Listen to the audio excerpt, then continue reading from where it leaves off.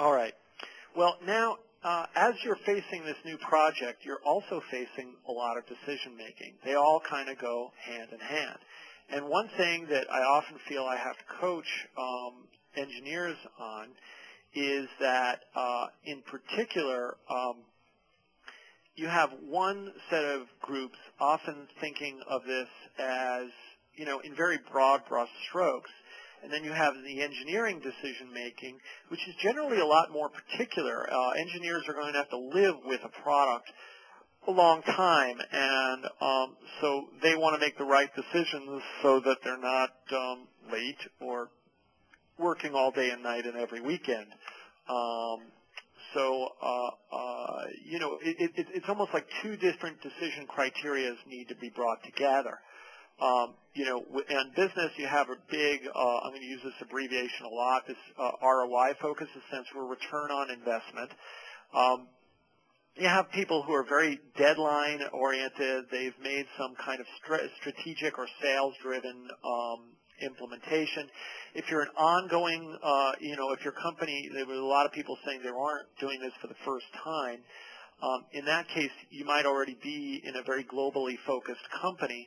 So you have worldwide sales forces. So if your product is in, say, you know, is not internationalized, a lot of time there's going to be this strategically driven deadlines that says, hey, we already have this worldwide sales force.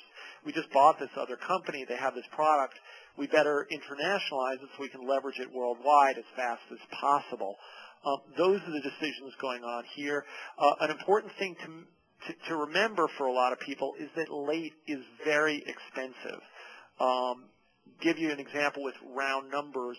Um, if uh, there's been a strategic initiative to globalize a product. There might already, say, for 2009, be a, a sales number expectation that that product sells a million dollars worth of product in, say, uh, I don't know, I'll make something up, say a million dollars worth of product in Japan next year, or maybe they just call it rest of world or something like that. But if that product needs to sell a million dollars worth of, of, of expectation, um, three months late, if that product, let's say, gets released in March of 2009, ready for the Japanese market, well, there's a three-month loss in that, and that that is going to have an impact on the numbers, the projections for the company. So three months is conceivably $250,000 or one quarter of what the sales expectations were for ramp up for that product for the year.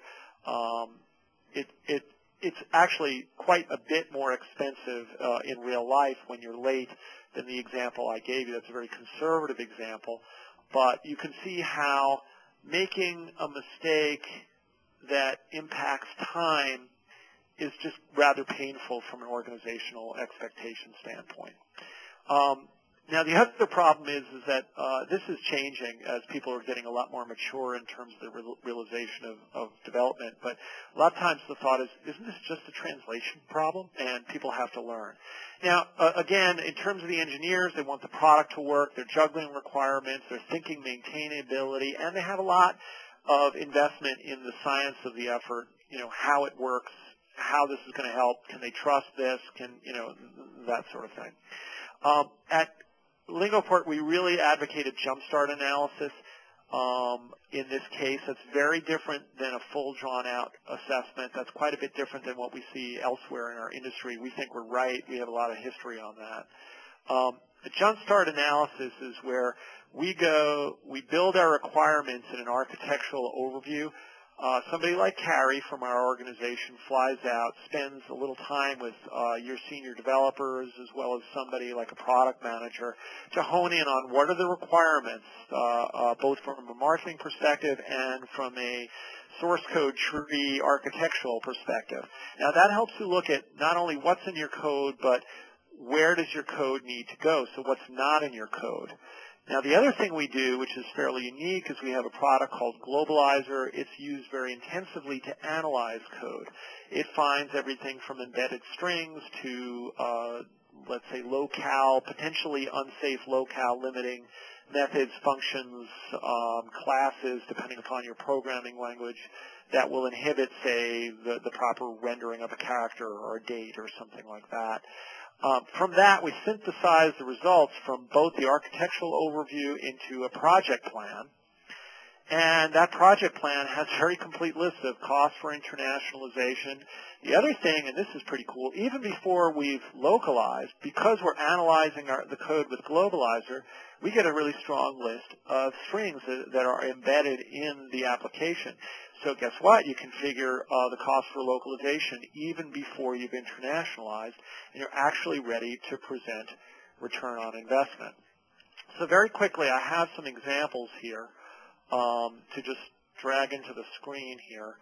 Um, this is an example project plan. It's for a product we did, oh, way back in 04, but the same holds true. So this is the level of project plan that we do uh, after a jumpstart effort. It's, it's pretty darn complete. You'll see that there's all kinds of um, uh, uh, analysis on different parts of this application. There's uh, the Java section. There's uh, different application components. I kind of genericize the names here, so so you know I keep the client confidential.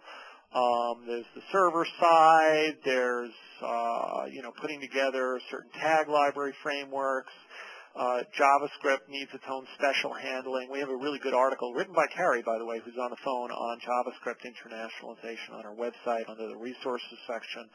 Um, the um, uh, other thing you'll see down here further is there's always a database tier. These are things in common, uh, you know, uh, bug fixing stage and the like. Um, as people um, have questions, they want to talk about project planning, I'm happy to answer that afterwards. Um, another example is, you know, when I show like output of a Globalyzer report, this has been exported to Excel you know, you can see a summary of lots of stuff that we found. This is actually a real report done on real customer code just recently. Uh, you can see we have all these strings and the detail here. Uh, you know, there's actually quite a few of them in the different parts of the application, but um, this is pretty cool. Nothing's, you know, everything is still embedded, yet we know exactly what it is. And by the way, you can use Globalyzer when everybody's all ready to suck those strings out and automate a lot of that process. But this lets us estimate really quite well. We also get to see little things like this. See how this is like programmatically adding a plural to days in, in the obviously programmatic logic like that is not going to work in internationalization where many languages may not have the concept of a plural. So um, this is pretty powerful stuff. Um, but when it comes down to it, um, I'm gonna I kind of talk through this. Um, so I'm going to squeeze by these slides. This is what Globalyzer looks like when we find um, strings. This is the Globalyzer interface. That's a string report, I think. It, you can click on something. It takes you to the, the, the uh, code. Uh, as it is, you can see I've externalized a few strings. We're probably the only product with a toilet plunger in our interface. We get lots of kicks out of that, but that's for sucking strings out. Um, that's a project plan. But then it comes to getting approval. So once you have your product plan, now you have some interesting stuff. In general, I'll let Eric take some industry benchmarks. So, Eric, if you would take us through this these next couple of slides. Yeah, absolutely. Um, as Adam had discussed, we've got kind of a working framework for what we're looking for um, tactically, operationally, to get the uh, application ready to go in international markets. Now, there's always the matter of you know making a case with the powers that be about getting this done. Um, some recent survey data um, from one of our industry's analysts uh, combined 20 largest IT firms invested a total of $1.5 billion to garner more than 50 billion in international sales. So that's a ridiculously large number, sort of in keeping with the idea that, okay, everybody's looking at this and all the detail on the level of, of, um, of application and perhaps the allocation of resources in the front end going, oh my God, this is a huge initial investment, but you know when you're returning like this, um, that isn't really that big of an investment at all when you stop and think about it. So again, the same analysts recommended that we want to, you know, multinational enterprises, uh, aka your company, regardless of size, on a scalable level, we probably want to look at allocating anywhere from one to three percent of international sales for reinvestment in uh, internationalization and localization.